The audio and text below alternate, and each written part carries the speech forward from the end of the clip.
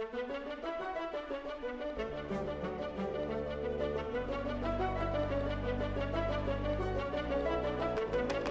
the crisis began, I had one big advantage, and that is for over three decades, Accenture has not had a headquarters, and my leadership team is already remote.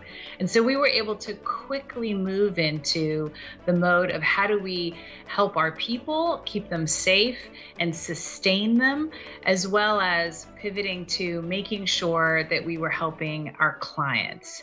As we come out of that first phase of, uh, re- of responding to the crisis, both ourselves and with our clients, we're very much focused on how do we use the crisis to emerge stronger, both as a company and helping our clients do it. And so when you think about uh, the question of how is the global economy going to be recovering, we're seeing a big difference in how companies are responding. In this post crisis period, as you're moving out of responding, if you aren't changing the way you're making decisions in order to institutionalize that speed that we all exhibited during the crisis, then it'll be hard to make that speed be enduring. And I think it is critical that as companies, we harness that power, that agility that we all demonstrated in responding to the crisis in order to accelerate coming out of the crisis. During the COVID 19 crisis, Faurecia had three priorities to protect the health and safety of all our employees, to secure our liquidity, and to prepare the safe restart of production.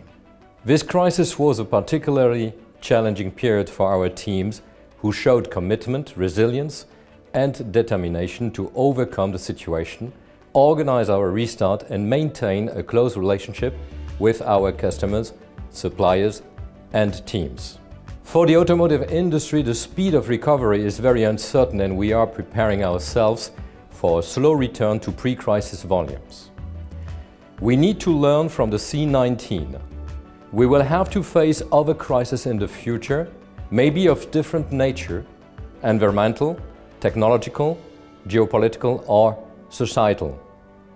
For me, the key thing to fix is our lack of global resilience. We should move towards a new resilient economic paradigm, a more balanced one, not only focused on short-term financial performance, which are needed, but not only, with a model which also considers sustainability